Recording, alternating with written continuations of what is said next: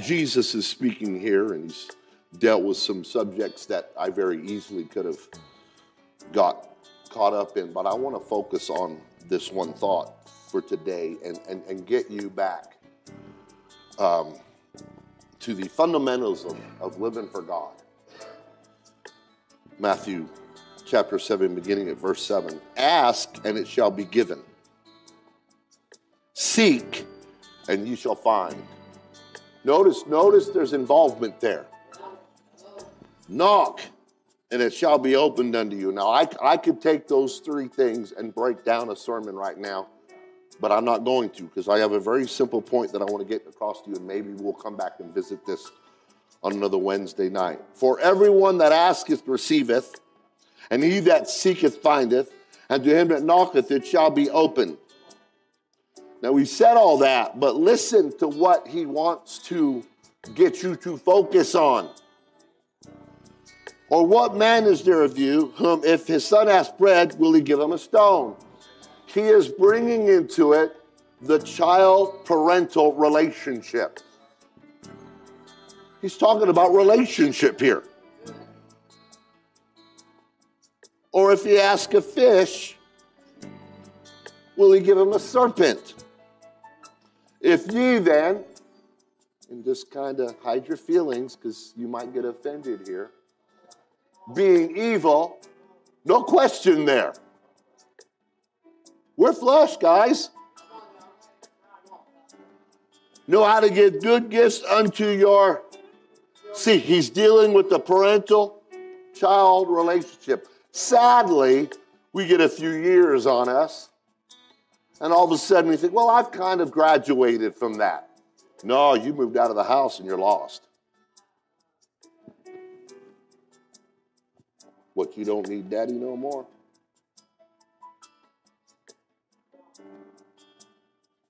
Come on, we've all heard that young teenage boy. I'm my own man now. Yeah, you ain't about a stitch of them clothes on your back. Boy, get back in your room and clean it while you're in there. And I said that with, with a, a, quick flow because sometimes we forget.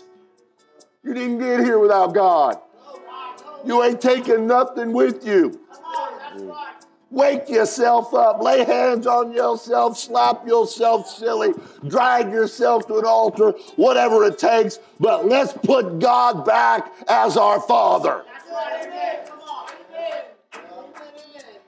If ye then, being able know how to give gifts, good gifts unto your children, how much more? See what, he's, see what he's saying here? Oh, yeah, I know you think you're such a great parent, grandparent, mom, dad. Get over yourself. You can't touch what God can do. Stop trying to compete with your neighbors and get connected to God. The American ideology is going to lead more people completely blessed with the abundance of things in life straight to hell because they neglect making God the heavenly Father and they think they're all that in a bag of chips. Are you hear what I'm saying? How much more shall your Father which is in heaven give good things to them that ask him? Therefore, I'm going to tell you what that therefore is there for. All things whatsoever ye would that man should do to you. You wanted that job, and you want the man to give you the job. You wanted that loan, you wanted whatever it is in the world.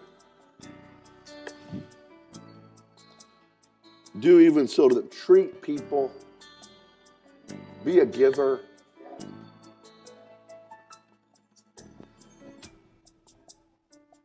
be amazing to people. For this is the law and the prophets. He pulled in the Old Testament right there. A lot of people don't want to talk about the Old Testament today. But he hasn't, he's not wiped away the Old Testament. Deuteronomy 6 and 4 fits right in with the New Testament. Well, I'm not going down that street tonight either. Let's go ahead and place our Bibles down and let's, let's seek the face of God, our Heavenly Father, right now. Jesus, I need you. I need your help. Help me to bring forth this word, God, with clarity, Lord God, conviction, God. And help us draw closer to you, Lord. Help us to truly walk with you and talk with you, Lord. And help us become as dear children in your presence, God, that we would walk in your will and in your ways. And everybody said, in Jesus' name. God bless you. You can be seated. The context is that we indeed need to entreat God as our Heavenly Father, which means we must remain humbly children in need of God. That's hard to do today. It's especially hard to do in the United States. Ain't none of us sitting under a bridge in Del Rio wanting a place to stay. Hello? Walking by faith and having trust in God doesn't mean just showing up Sundays and Wednesdays in our nice polished cars, leaving behind our manicured lawns and nice bank accounts. That's not walking in faith. And sadly, our American opulence extinguishes our need for real active faith. But I'm going to tell you something right here, right now. It's coming. We have houses and physicians and drugstores and jobs and think we have need of nothing, and we come in with a with a patronizing effect into the house of God, and we'll worship if we like the song, we'll shout amen if we like what's being preached, and we, we, we everything is so diluted. Because what happens is we become more like spiritually defunct teenagers, and we get a little time under our belt and start thinking we don't need the Father the Father's house, the rules, the standards that it upholds. See, many of us will, will, refer to dad in contexts of things we've lived up to. But how often we refer to dad in things we know we've lost sight of? Not honest about that. But Paul admonished his son in the gospel, and I need you to listen. In 1 Timothy chapter 1, 18 and 19. This charge I commit unto thee, son Timothy, according to the prophecies which went before on thee, that thou mightest war a good warfare, holding faith and a good conscience. You can put on a good face here, but some of us need to allow our conscience to speak to us. Say, you know, your ideology and your idea of thinking about the church, you kind of messed up. You don't come here needing that. You come in here thinking you're blessing dad. You think you're God's gift to dad. He said, holding faith and a good conscience, which some having put away. Yeah, that's for the new converts. And concerning faith have made shipwreck. How is it that an inexhaustive God that pours out anointings and gives words and, and amazing miracles becomes stagnant in our lives. How does that happen? How is it that some of us, uh, and we refer to the good old days like God died or something? Or refer to a time when, man, I used to be on fire, but I'm a little older and more mature now. Oh God, that I get some immaturity today and become a child in the house of my Father.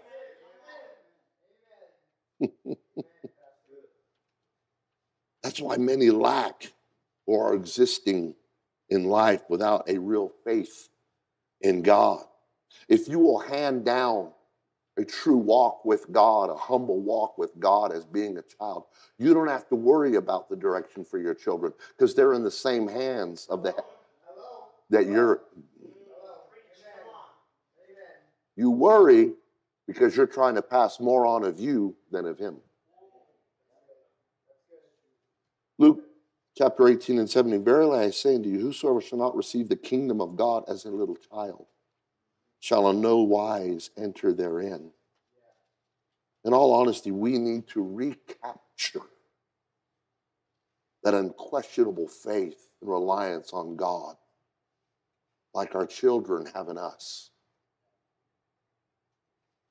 You hear what I'm saying?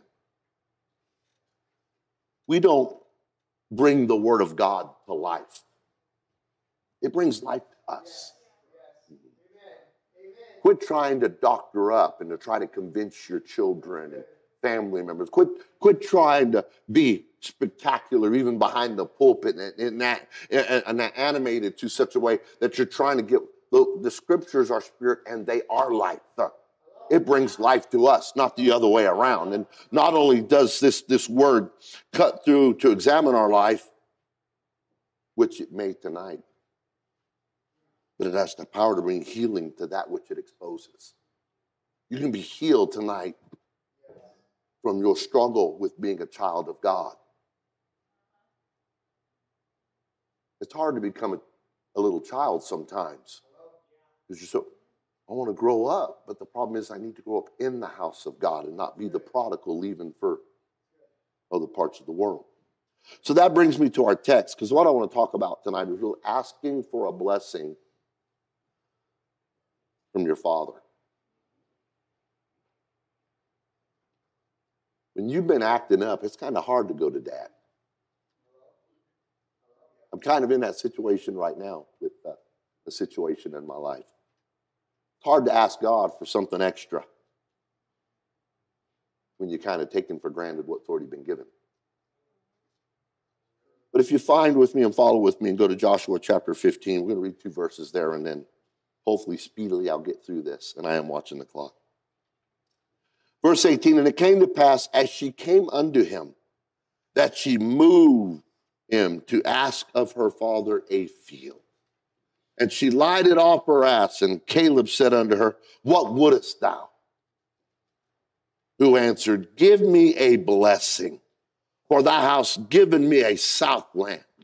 Give me also springs of water and he gave her the upper springs and the nether springs. Tucked away, little place of scripture, we are introduced to a character that seldom receives much spotlight. I don't know, perhaps it's because of the slow progress of the land allotments discussed in Joshua 15, or maybe because it's overshadowed by the gory events that occur in Judges 1 with Adoni-Bezek. However, if you take a closer look at the two verses in Joshua, Joshua, they reveal to us a woman that I believe each one of us should endeavor to emulate. If you think about the challenge that Caleb put out there, it's not the first one. There's a similar challenge cast out by King Saul when faced with Goliath in 1 Samuel 17 25. But nevertheless, here in Joshua 15 and 16, Caleb throws out this challenge to the tribal warriors, the men among men of Israel, that he that smiteth Kirjathsepher and taketh it, to him will I give Achsah, my daughter to wife.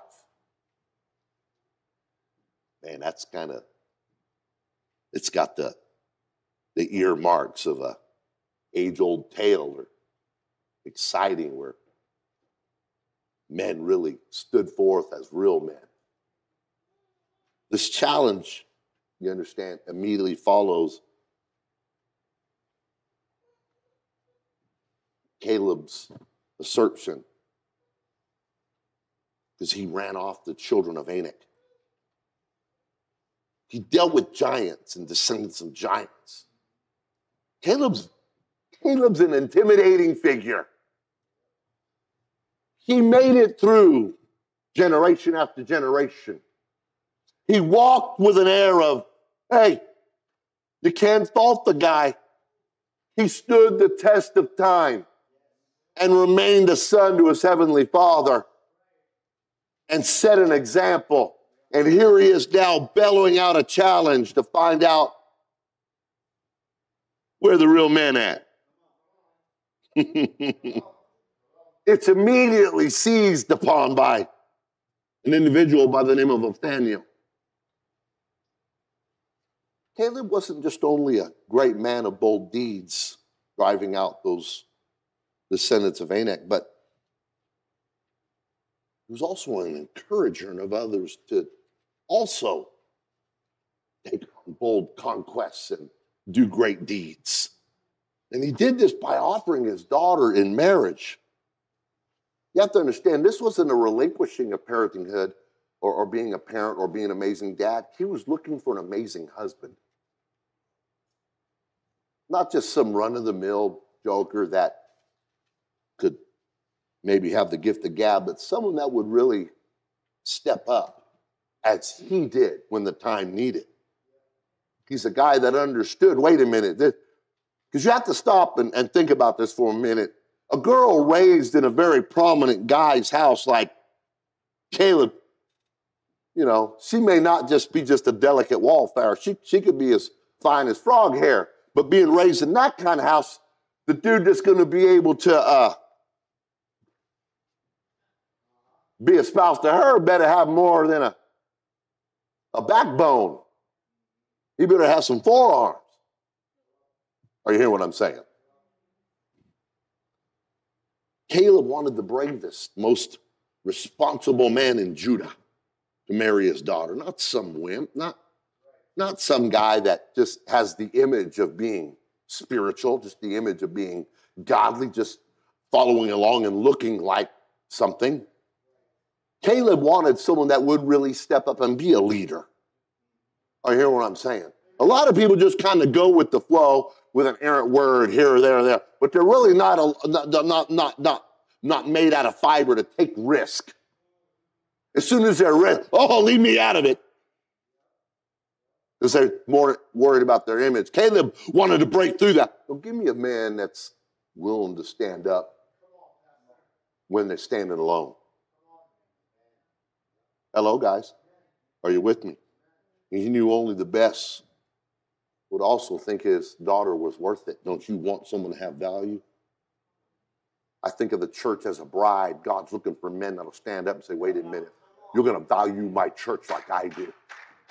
It's not just something to exercise your sometimes on again, off again ministry, but it's something that you're all in day in, day out. It's not a pastime, it's your full time.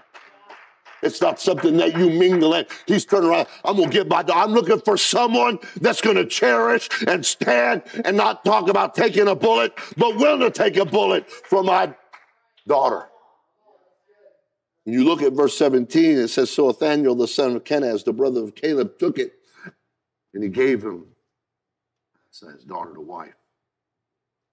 In ancient times, we know that names were given to a person and the name that was given spoke to a person's character. The name Othniel means lion of God. Some of Caleb's daring faith apparently rubbed off on his son in law. Let's say more about him right now. And he actually became the first judge, if you know your Bible. It's pretty, pretty intimidating who this guy became. It's pretty awesome. He wasn't just a fly by night, night. And the fact that Caleb put this out there lets us know he weeded out the wannabes to the is. So Othniel succeeds and he's true to his word and he's given Achsah for a reward for overcoming taken here Jephthah. But suddenly in these two verses that I read to you, we're kind of propelled into a narrative, a moment that comes and goes really quickly that we can kind of miss it, surrounded by all the, the bravado, the bravery, and the amazingness of taking the land and being conquering heroes, brushed right in the middle here. And I'm going to read you another version.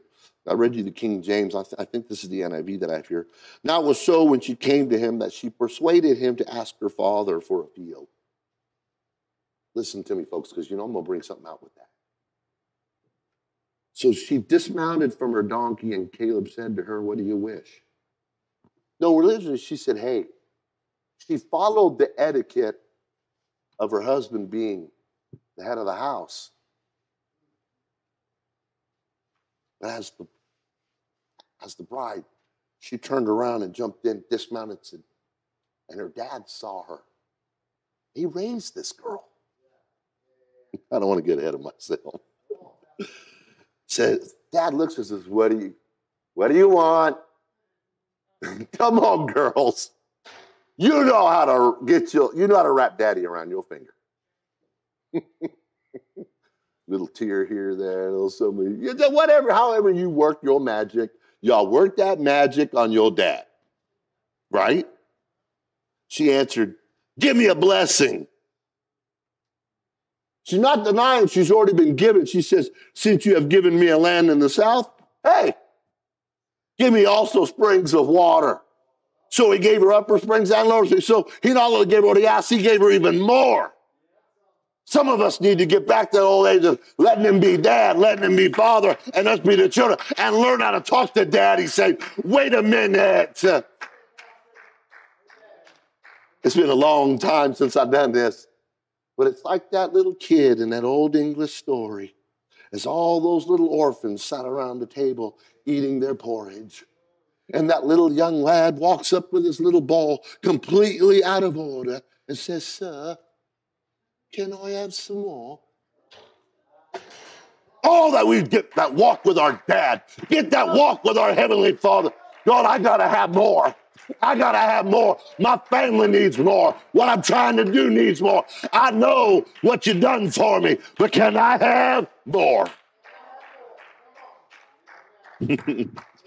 Jumbled together in these two verses are two requests. Y'all need to learn how to ask. Y'all need to get back to letting Him be the Heavenly Father lay down that teenager syndrome that's causing you from walking around unspiritual, untouched, thinking the sky is brass and that God doesn't move or listen no more. He's just like the rest of us. When you got an obstinate teenager that left the house, you're waiting for him to come back. Some of you need to realize he's waiting for you to come back. He's waiting for you to get that mindset. Don't think he doesn't want to give. Don't think he doesn't don't have. Don't think that he doesn't have it in store. He's just waiting for you to get in a spiritual condition to handle what he wants to give you. So first ask, her new husband to ask Caleb for a field. In reality, the word moved is more accurately translated as, hold on, fellas, enticed or allured. Hey, honey, you know she said, wait for him to come home, maybe coming home from beating on somebody. Who knows? He's a bad dude. Maybe he's killing I don't know. She waited for him to come home. You know that best meal was laid out. She had on the best outfit she had, whatever sweet smelling, she had that on. You wait for him to come home. Hey, honey. Because we need to learn how to ask. See, the way you live, Monday, Tuesday, you, you, you can't come in smelling sweet to God when you spend all your life in the picture. I, I, get it. It may not be sin, but it is. This world is so corrupt, and this world has got some fearfully and wonderfully made human beings are amazing, and we spend our life and time and thoughts about the carnal, worldly things. And you think it's coming. Hey, Dad, give me. He's like, you stink of the world. Don't make sense to push back the plate. I'm hungry. Don't make sense to pray. Don't make sense. And some of you missed what it's like to come in to the presence of heavenly of your heavenly Father, and you've neglected prayer and you've ne- neglected. In fact, you've kind of become one of those disgruntled kids. I don't know if God this and God that, and I really don't know. And you're listening to music lyrics, and you're listening to radio, and you got and you're more concerned about politics, and, and you try and you come in and you just stink like the world, and you want God to turn around and be endeared to you. We need a revelation and a revival of learning how to ask God for an extra blessing. Man, I know God's moving on me. I'm telling you, y'all need to hear this. I, and sadly, one of the greatest stenches in the stench of God's nostrils is people that have a bunch of things and you think you have. And you don't realize you're poor and naked before God. Or hear what I'm saying? In reality, that word moved, it means enticed or lured. And so she demonstrated, she showed, she expresses to us, and she reveals to us how to approach our Heavenly Father. There's a reason we push things away. There's a reason we don't have to, things to do. There's a reason we take those time. We, we want to become alluring. We want to say, God, you are important to me. And, and what I'm doing, I want to be pleasing to you. And I want that intimate walk with Jesus. We can't treat the church and we can't treat God and come rushing in at the last unthoughtful minute and say, God, where you at? Some of us have gotten mad and upset at God, but you've not lived in an alluring, enticing way for God to be endeared to you. You've treated him roughly. You spoke to him like a teenager does a dad, and you thought, well, I don't know about God. I don't know if I believe this anymore. Can you imagine the hurt you would feel if your own children turned around and said, you know, your mind would quickly go back to all the sacrifices, all the things you denied, all the, eh, the dark. You don't think God sees that in us?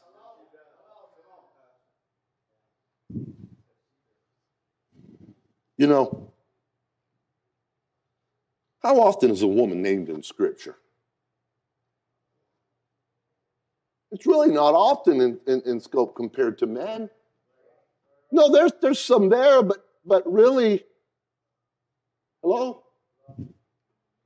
And so when we do see a name, and we see a name in the context that we find this this evening, and we see something at this level, we need to pay close attention.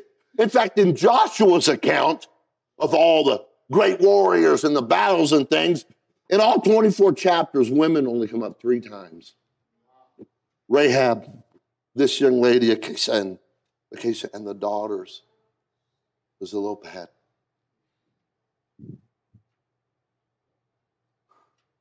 Jesus. What, what field is she asking for? What, what is it? Well, we're not definitively sure, but we can safely assume that Debir may not have much in the way of agriculture. You ever felt like my ground's just not producing?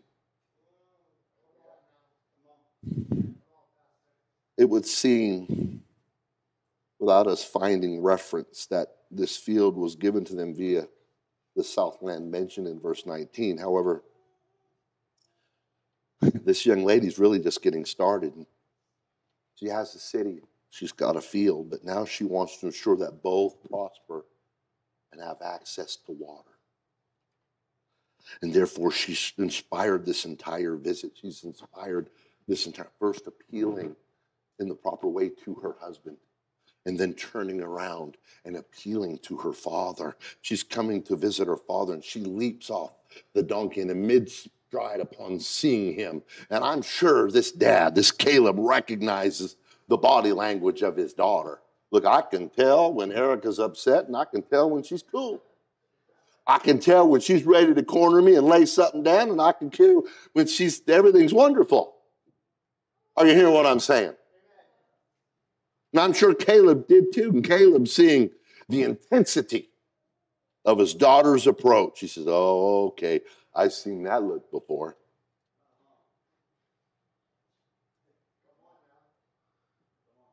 I don't know. Did he use vernacular like us? I don't, I don't, I, I don't know. I, in my mind, I'm thinking he, he's a battle hardened warrior that stuck with it 40 years without getting to lay his hand on a real enemy. But then he turned around and defeated the descendants of Anak, and he's he, oh man, the fight, I can see the fight. I can see, I can see me and her. I wonder how many times God looks at us. Why don't I see me in them? Just too much tonight. Sister Crow's just too much tonight. There's an importance in our intensity. Our intensity. Our intensity for the things of God proves our commitment. It, it proves, it proves that we're convinced. When you come meandering in here and find yourself a seat and sit back and you're like, okay, let's see what moves me. You missed it. She showed up to move her father. She showed up in a way, hey, I've got Oh, I know I ain't getting all of you, but if I can get one or two of you, if I get three or four, if I can get someone in here today to realize there's a way to approach God, something's to happen in your life, something will happen in this church, something will happen, maybe a family will be saved, family will make it through these end times. kind of rides that lady with the issue of blood pressing through the crowd. She says, the virtue, some of you need to come in here to get that virtue to flow. You can, oh, it's just another Wednesday night. You got the, you want to get home to your little chores. You want to get home. You got this. Yeah. Kids at home. Yeah, got this. Yeah. This little hobby and that. And you wonder why the God, the creator of the universe, I'm waiting for you to show up and become alluring to me. But this young lady, she doesn't waste any time. Well, I don't know. Lights off that cam. I doubt she does the whole tuck and roll thing because she's a lady, but she jumped up coming. Oh, the, my warrior princesses showed up. Husband's with her. Oh, Lord. I don't think it was like that. I don't think it was like that at all. Oh, yeah. That's my girl. I raised her to be a warrior. I raised her to be the most warrior, ladylike princess that's not afraid to enter in and come to my house with a need because she knows I'm a heavenly father that likes to answer the needs. You have to, God wants to answer that need. God wants to, but some of you come in and treat him like you're going to the bank for a mortgage. Do you hit all the qualifications? I'm sorry, folks. I've already done taking 20 minutes longer than I expected. She's going to her father that for more than 40 years had a phrase locked in his head Give me my. Oh God, that the saddest things that we pass on to our children as phrases the, the colloquialisms and the vernacular little sayings that we penetrate their poor little innocent skulls and hearts, all the, all the junk and the, the, the, the sayings that we like because they kind of tickle our little ego, but they don't have those godly sayings of give. We ought to we ought to check our speaking and check what we're listening and check our culture and our, our little subculture that we create around our home. I want my babies to be talking about, give me my mountain, God. Give me the Holy Ghost. Uh, give me the answer to my prayer. I'm seeking. Oh, you ought to stop and be a, have a good reevaluation of yourself. What am I really passing on? What am I really handing my baby girls? What am I really handing my boys? What am I really handing my babies?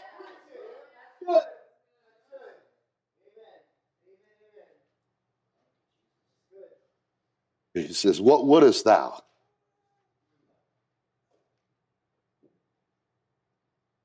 And without a pause. She didn't need to.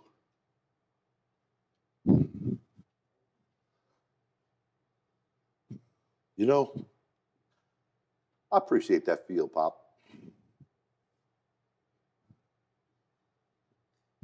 But I want a blessing.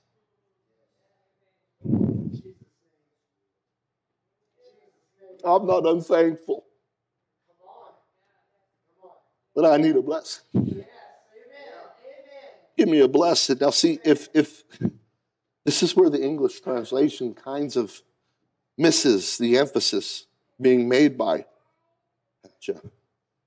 because she's requesting a blessing which literally denotes a special favor. Some of you live the minimums with God. But if you would shift your mental paradigm, make God first and and and and and, and, and, and, and endear special favor. It is so sad that we relinquish the blessings of God to things that perish when the gift of God is eternal life. Oh, how are you going to hand down eternal life to your children if you make the temporal things so important. Maybe that's the mountain you need to turn and ask for.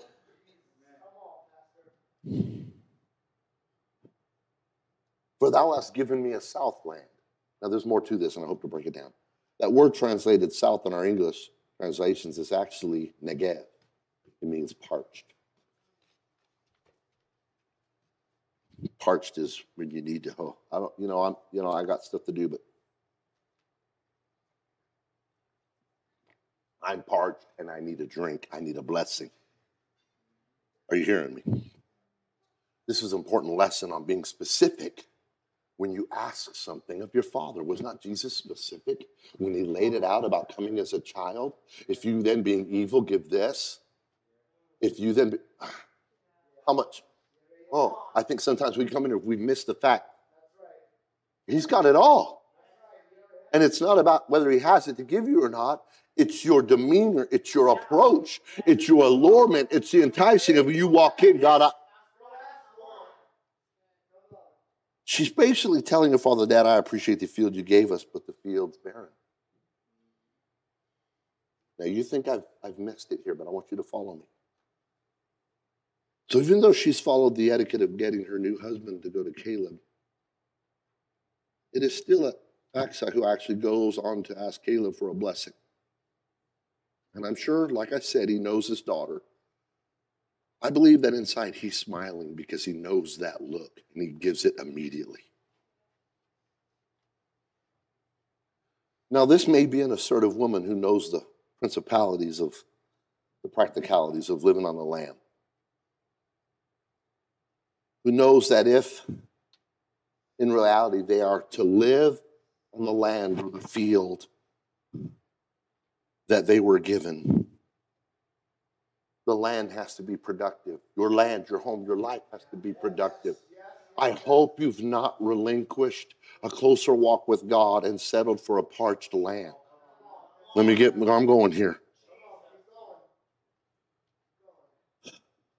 Maybe like our Heavenly Father, Caleb was testing this man and this daughter to see if they had enough faith to go to their father and ask for what he knew they already needed.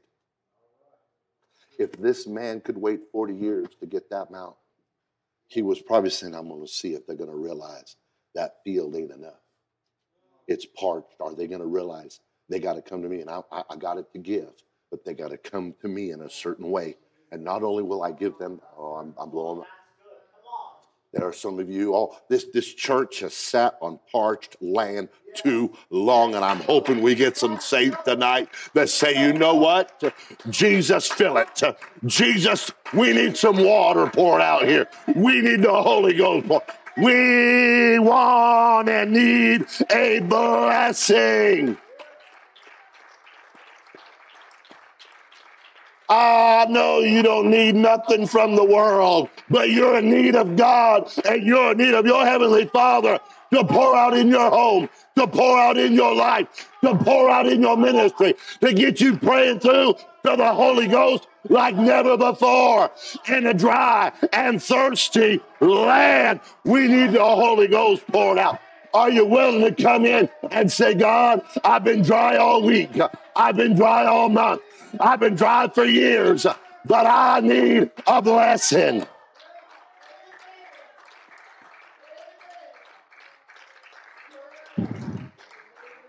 And I need to hurry. I need to hurry. Keep on praying if you want to. Come on, come on, come on. Hallelujah. Someone might just get that water. Someone might just get that downpour. I know some of you don't want to be bothered tonight. And I know it's just Wednesday night and you don't want to sweat a little or mess your hair up or get a little sick. But there might be someone here ready to jump off that mule you walked in on and say, God, I got to have a blessing.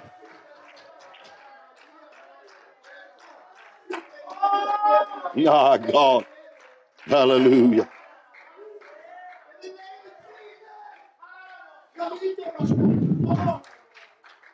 God may have given you just enough to find out if you'll get satisfied in your stale self. I'll say, there ain't enough here for me to be really prosperous. There ain't enough. It's a little too dry for me to grow and bloom and blossom and bear fruit.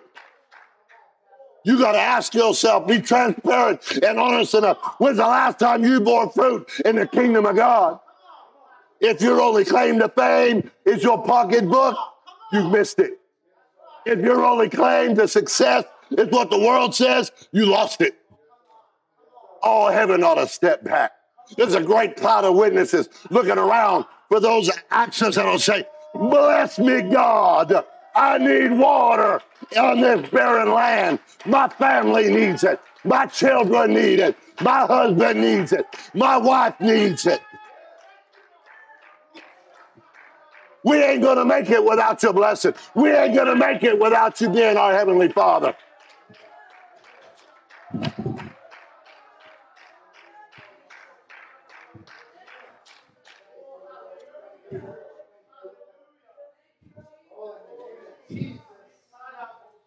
Let me let me come in that another direction briefly.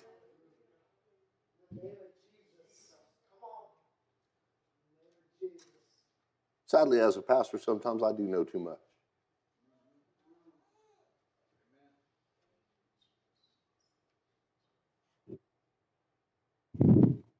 Some of you struggle. You don't even know where your place is.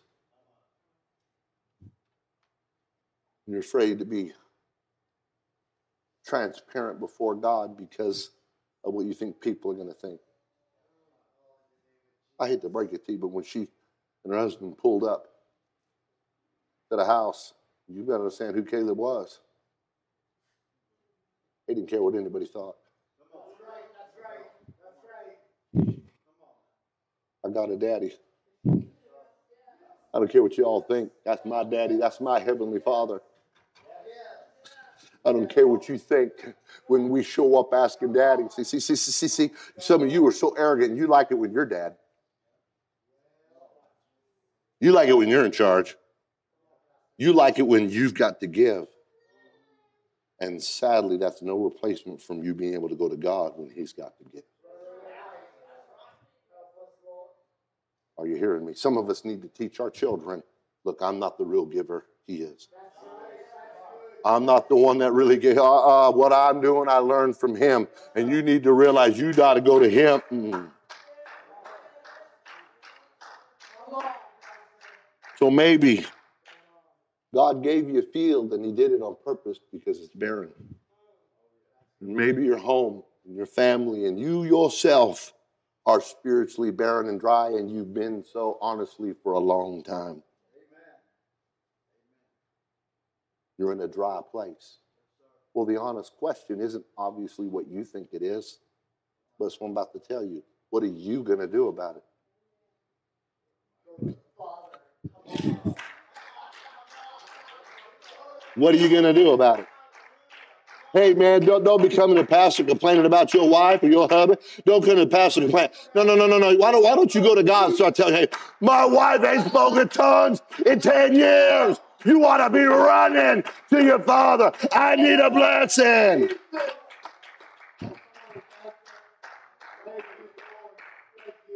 Oh, what are you going to do about it? Sit there until you die? Wither away, dry up? Oh God, I hope there's some people in here that'll take the approach of action. Oh, I hope there's some people today that get this short little message, this little, this little thought and realize, wait a minute, I'm to come to my Heavenly Father. Oh, I know He's given me, but I'll tell you what, He was testing me to see if I was to ask for what I really needed to make what He gave me blossom, to become fruitful.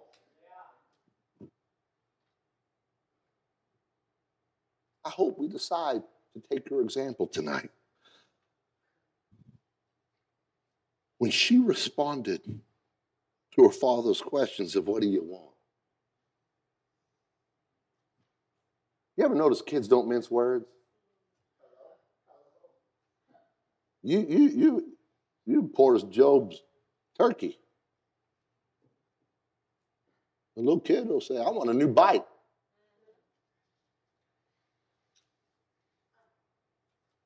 Hello? They're graduating high school. They went, Can I have a car?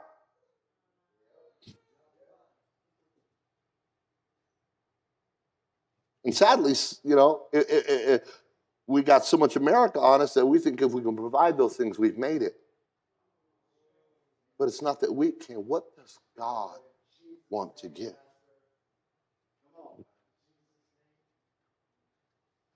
Do you realize what happened?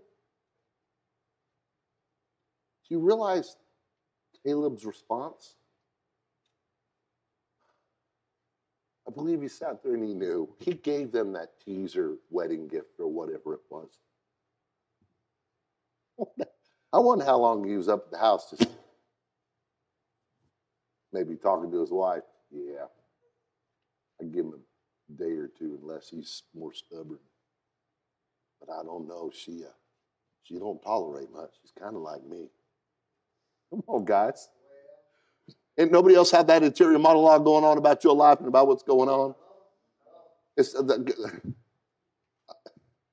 oh no, that, they're saying, oh no, no, yeah. Hold on a minute. They're, you? Yeah?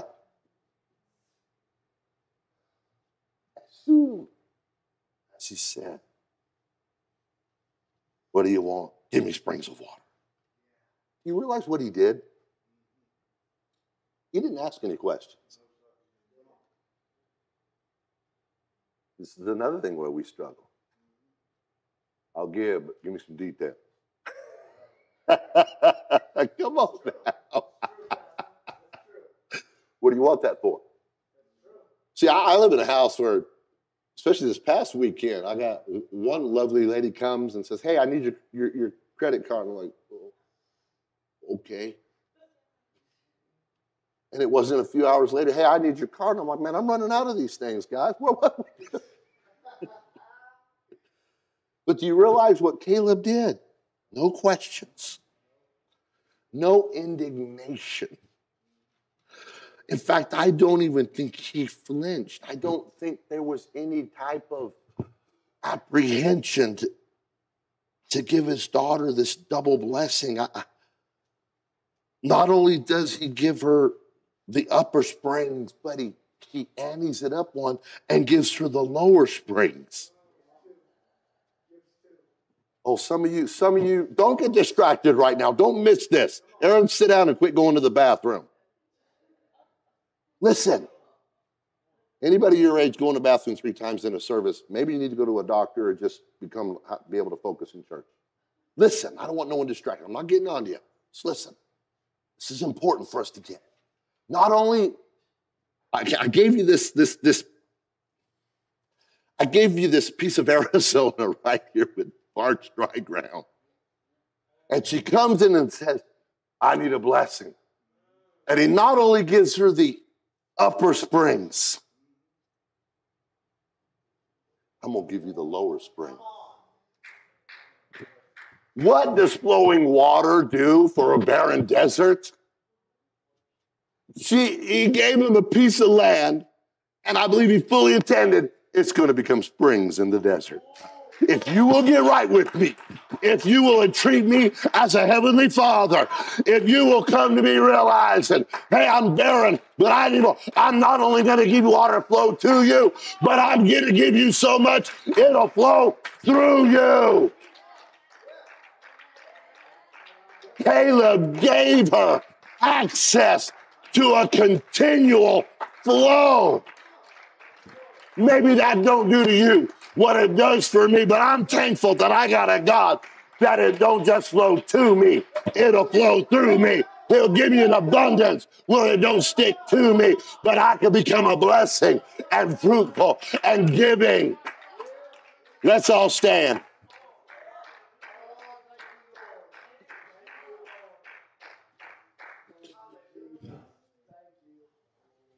A spring flowing with living water to bring life to everything around it.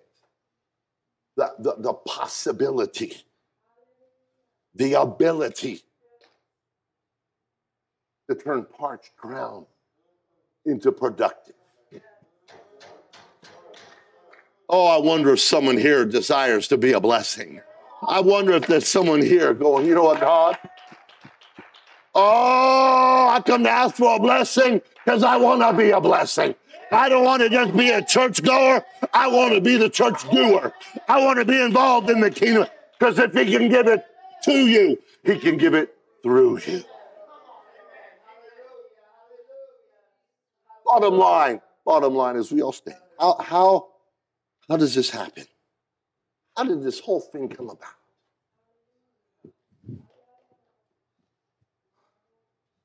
One person was not content, content with just one conquered city.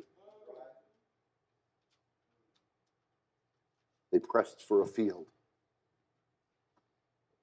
And then she was not content with just any old field. She wanted a prosperous field. And the only way to secure such a field was to make haste to her father's house and ask him for a blessing. She wanted a watered field, and he said, I'm not just going to give you a watered field. I'm going to give water that comes in, and your field will start giving water.